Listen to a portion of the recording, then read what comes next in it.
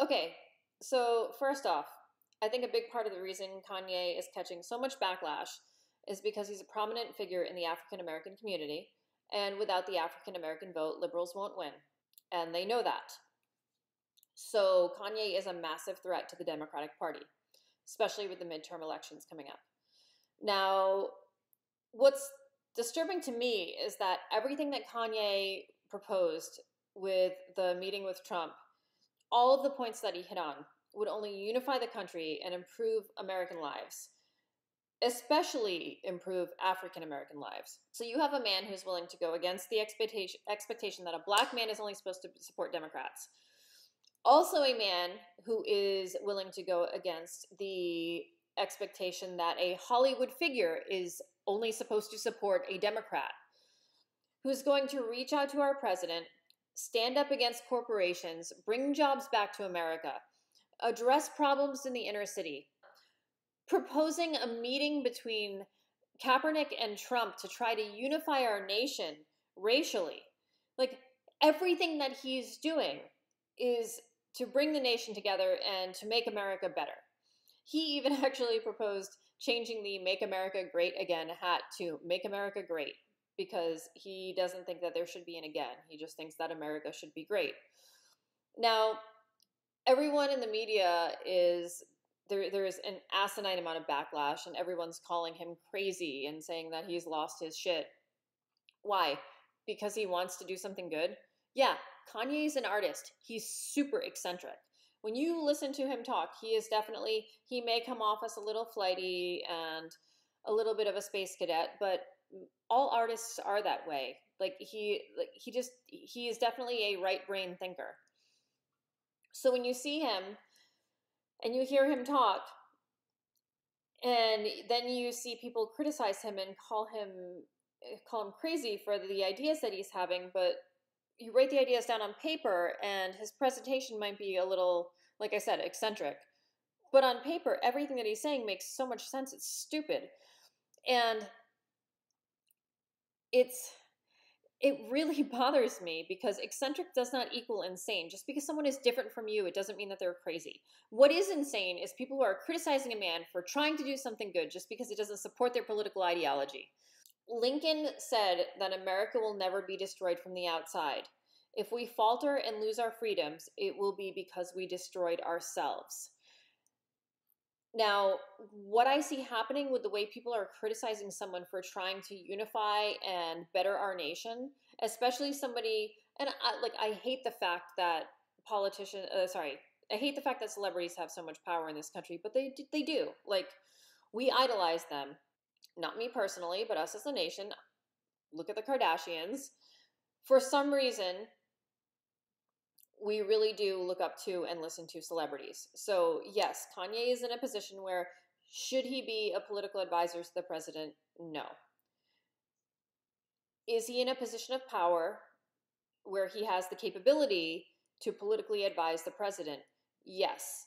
Are his ideas good? Yes. Is what he's trying to do from the heart and to make things better for Americans? Yes then why are we tearing him apart? Because, oh, he doesn't conform to the Democrats? Like, he doesn't, like, he just doesn't go with the flow? He doesn't, he's not a zombie. He's not a robot. He's not a sheep, whatever you want to call it. He's thinking for himself. So we're going to, we're going to try and tear him down. I feel like we're better than that. Like, that's why artificial intelligence is going to take over. That's why the computers are going to own us. That's why our species is going to fail because we can't come together and we can't unify even when you have somebody like who is really pushing for that who should be able to reach out to and speak to both both sides of the spectrum. And like if anybody could bring the country together it would be a figure like Kanye. But we just won't let that happen. It's like we don't want to. It's like we are in love with conflict. It's like we're that shitty girlfriend who always picks fights just to prove that her boyfriend loves her because he's going to chase her back after they, you know, it's like the person who fights to make up. I feel like that's what our country has become. It's like we don't know another way, so we continue to nitpick and fight with each other rather than say, okay, maybe I should listen to your side. Okay, maybe we're both fighting for the same thing. Okay, what is best for the nation as a whole? How can we move forward? So much has changed, and there's so much going on inside our society. Like, there's so many things that factors that just we don't know how to handle. We don't know how to handle technology. We don't know how to handle social media. We don't know how to handle the communication that we have. I feel like we're in like an infancy stage of this technological boom and that we've experienced over the past 20 years. And no, we don't know how to handle it, but we should be working together to try to figure things out from this point forward, especially with the communication and with the tools that we have given ourselves over the past two decades. So I'm going to insert the Kanye video. Please feel free to watch it and let me know your thoughts. Um, I really do hope that things like this continue to happen. I hope the meeting with Kaepernick and Trump happens. I hope that the country can come together because I don't like us being divided this way. I don't want to see people on Facebook fighting and having resentment and spite towards each other, where otherwise, you know, we have tons in common and we would get along and everything would be just fine. I've lost too many really good friends over politics, and I don't want that trend to continue in the future.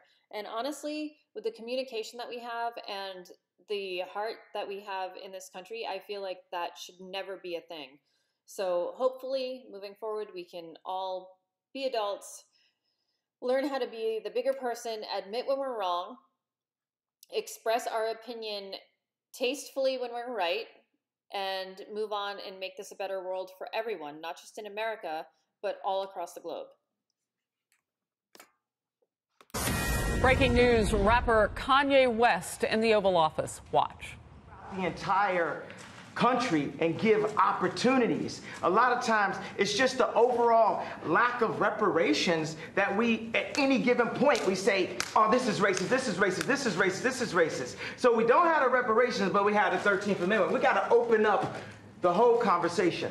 So, and uh, that's a move. One of the moves that I love that liberals tried to do the liberal would try to control a black person through the concept of racism because they know that we are very proud, emotional people. So when I said I like Trump to like someone that's liberal, they'll say, oh, but he's racist. You think racism can control me? Oh, that don't stop me. That's an invisible wall. Mr. West, what would you like? But you don't think Oh, your question. You, you had one question. We're going to go to another question. Okay. I answered your question. I don't answer questions in simple sound, sound bites. You, you are tasting a fine wine. It has multiple notes to it. You better play 4D chess with me like it's Minority Report. Because it ain't that simple. It's complex. Mr. West, what would you like? I'm from the Chicago Sun-Times, so I would like to know what you would like to ask President Trump to do for Chicago. You're here to talk about crime in Chicago. The, the thing that um, that the uh, head of the police and um, Mike Sachs met with me last night at the Soho House about was we feel that stop and frisk uh, does not help the relationships in the city. And everyone that knew I was coming here said, ask about stop and frisk. That's, that's, that's uh, the number one thing that we're uh, having this conversation about. Uh, another thing is opening up industries, and we've got to get some tax breaks to because you know we're making um, we got a speed factory in Atlanta, but the shoes are costing us three hundred dollars, so it's costing us too too much to make things. So we need some prototypes here so we can get people back working. So China can't just beat us and Vietnam can't beat us. You got Levi's, the greatest jeans company in the world, making their jeans in uh, in Vietnam. So we're going to need to get a few breaks to be able to have some places in my hometown of Chicago and the 2.7 million to the 9 million surrounding suburbs where we can create some factories. Now, I think it would be cool for them to be Trump factories because he's a master of industry. He's a builder. And I think it would be cool to have Yeezy ideation centers, which would be a mix of education that empowers people and gives them modern information. Like sometimes people say, this kid has ADD, this kid has ADD.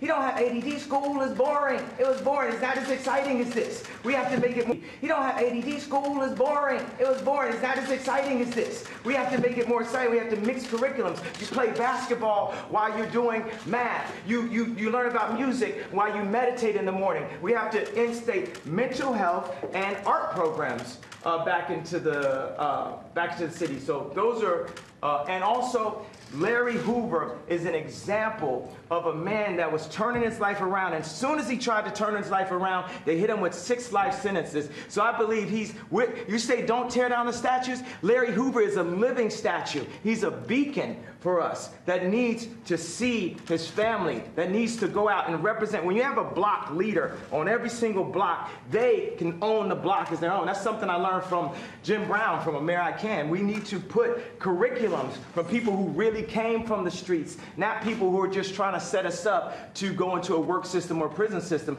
that applies to what people are really going through, which Jim Brown has created. What about gun violence with all the debate about the Second Amendment going on? The problem is illegal guns. Illegal guns is the problem, not, not, not legal guns. We have the right to bear arms.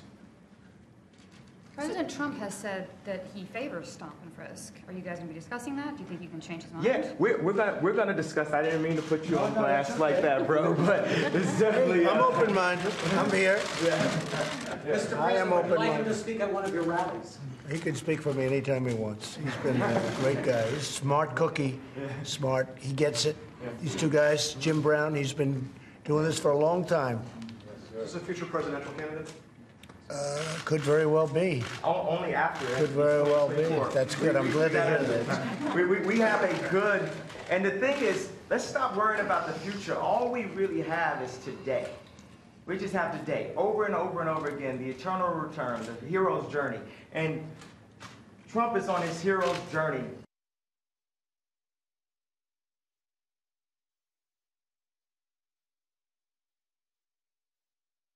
But best believe we are going to make America great. Now the thing is, my another thing is black people have an issue with the word again, and I believe my feeling from that is because I'm going to throw it, I'm going to go all the way Sigmund with it because time is a myth. All we have is now. All we have is today. So the word again, it doesn't hurt us because of the idea of racism and slavery and different things. It, it, it, it hurts us because we need to focus on who we are now, today. I, I believe. So I actually brought some hats in that have a bit of a transition. I'm not, not trying to put you up there spot a little bit. I I made a hat uh, that says Make America Great. Just that. But I would love to see at the Super Bowl, Trump wearing the Make America Great hat, Colin making wearing the Make America Great and showing that we can bend a bit on this side, we can bend a bit on this side, and we can learn how to be malleable in the infinite universe that we are and the loving beings that we are. That we don't have to stick to all traditions and, we aren't aside. We are one unit. We are one country. We are one moment in history and time. We might have been here before, but right now we're here together and our greatest value that people have are other people. And we need to stop working on red and blue. It's like a gang again. Let me ask you this question. You're in the Oval Office. Okay. How does it feel to be in the Oval Office? Oh, it is good energy in this. Isn't it good energy? Yeah. It's good energy. It's a great place. Jim, how do you feel? I feel good. Yeah. I truly feel good. I thank you, too. You're so respected. And what Kanye's doing has been incredible. All over the world, they're talking about this. And I have to tell you, I had important meetings today with senators and with everything. Nobody cared. They wanted this meeting. This is the meeting. Is that right? I can say that to John. Uh, no, the others were good, right? But this is what they want. Maybe only you would be here. Well, it's my honor, Jim. I want to tell you, I've been a fan of yours for a long time. A long time. Nobody like you.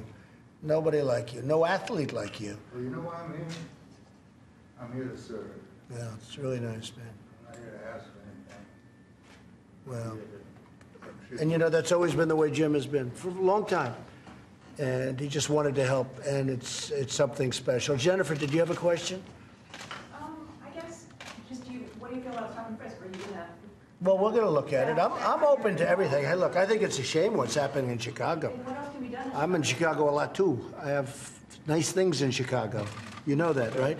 And I hate to see what's happening. They're having numbers, the numbers of people being shot and killed, and it's it's not it's not for this country. So they have to do something, and I am totally open. If we can do it a different way, Kanye, I'm totally open. But they have to do. I mean, we all agree they have to do something. That's Mr. for sure. President, is it a law enforcement issue, a legislation? Well, maybe it's a combination of both. Uh, Yeah, I guess it is, but I think it's probably a combination of both. And it's also a respect issue. They respect this guy, they respect this guy. That's a big thing. Right now, they're not respecting, let's say, your mayor or let's say your leadership in Chicago, but certainly it shouldn't be happening. What's going on there should not be happening. Steve, go ahead. What, what do you want this meeting to lead to in terms of prison? Uh, honestly, from our standpoint, this was just set up to be a lunch of two people that I like, and I guess they like me. And we're gonna have lunch. We're gonna talk. You said, you said, I guess you know I love you. I know. Did, did I? Did But I I? don't want to take. I don't want to put you in that spot. But No, I'm, I'm standing in that spot. I love this guy right here. Let me give this guy a hug right here. I love this guy right here. that's really Yeah. Come here. That's, that's really nice. And that's from the heart. I didn't want to put you in that position, you know, but, but that's from the heart. Special guy. These two are special people. Whether you like it, whether you don't like it, they're special people. And I appreciate it. Jim, Kanye, I appreciate it. So let's go have some lunch. Okay? Thank you all very much. All right, guys, let's go. Make your way out.